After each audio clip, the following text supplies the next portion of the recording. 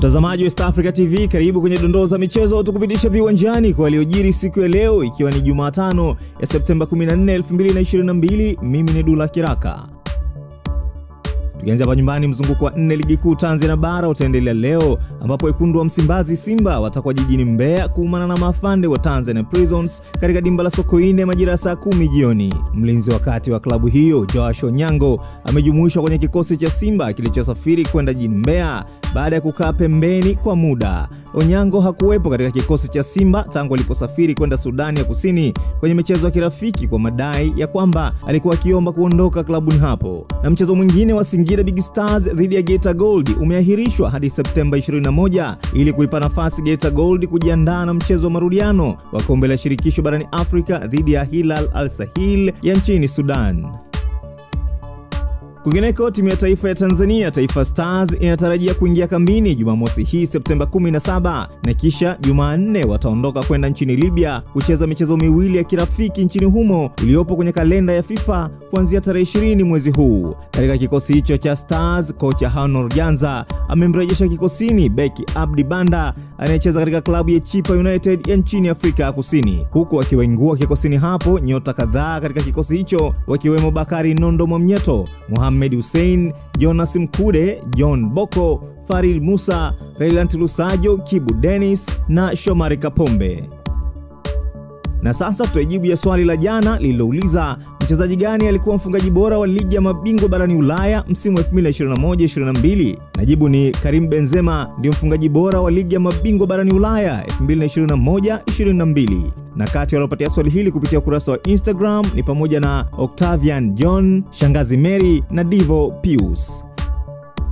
Na sasa tuangalie kuizi yetu ya leo inayouliza kabla ya kufundisha Brighton Hove and Albion, Graham Potter alikuwa kocha wa timu gani? Unaweza kujibu swali hili kupitia mitandao ya kijamii ya East Africa TV na majibu utayapata kesho hapa kwenye dondoo za michezo.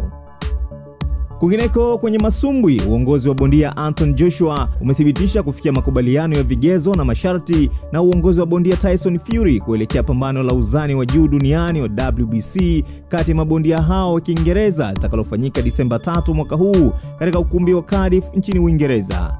Fury ndio anashikilia taji la uzito wa juu wa WBC wakati Anton Joshua alishindwa kurudisha mikanda yake mitatu ya WBA, WBO na IBF baada ya kupoteza tena pambano la pili dhidi ya Alexander Usyk, pambano lilofanyika nchini Saudi Arabia mapema mwezi uliopita na michezo tisa ya ligi ya mabingwa barani Ulaya itapigwa usiku wa leo, ambapo moja kati ya mchezo unaovuta hisia za watu wengi ni mchezo wa Manchester City dhidi ya Borussia Dortmund, ikiwa ni mara ya kwanza kwa Erling Braut Haaland kukutana na timu yake ya zamani tangu alipoondoka mwezi Agosti na kuelekea kwa matajiri wa Manchester. Kiungo wa Dortmund Jude Bellingham amesema licha ya kumfahamu vizuri Haaland, lakini bado hajui jinsi gani ya kumzuia asilete madhara katika mchezo wa leo.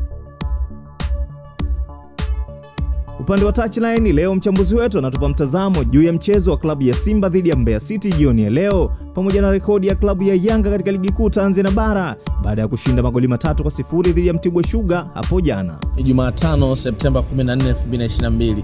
Hii ni Jumatano ya takwimu leo kwenye touchline na kupisha kwenye baadhi ya michezo mikubwa ambayo ilichezwa usiku hapo jana. Yanga walifunga Mtibwa Sukari mabao matatu kwa sifuri. Yanga wametimiza michezo 41 ya ligi kuu Tanzania NBC bila kupoteza mchezo. Ni miaka mitatu mfululizo Mtibwa hajaifunga Yanga baada ya kipigo hiko. Fiston Mayele kafikisha bao nane kwenye michezo sita msimu huu, mabao matatu kwenye michezo minne ligi kuu NBC. Simba watakuwa na game leo dhidi ya Tanzania Prisons Mbeya saa kumi jioni. Wamecheza michezo eh, 21. Simba kashinda 12, kapoteza michezo mitano, kasare minne na Prisons, lakini msimu uliopita hakupata hata alama moja kwenye uwanja wa Sokoine. Lakini michuano ya ligi ya mabingwa barani Ulaya, Bayern Munchen kaifunga Barcelona mabao mawili kwa sifuri. Amemfunga michezo mitano mfululizo, lakini ana michezo 30 ya hatua ya makundi ya UEFA Champions League, hajapoteza mchezo. Na kwa leo tulikusogezea ni hayo tu. Nifuate Instagram at Dula Kiraka. Usikose kutazama dondoo za michezo kila siku za Jumatatu hadi jumaa muda na wakati kama leo. Pia tufuate kwenye mitandao ya kijamii ya Facebook, Instagram, YouTube na Twitter kwa jina la East Africa TV.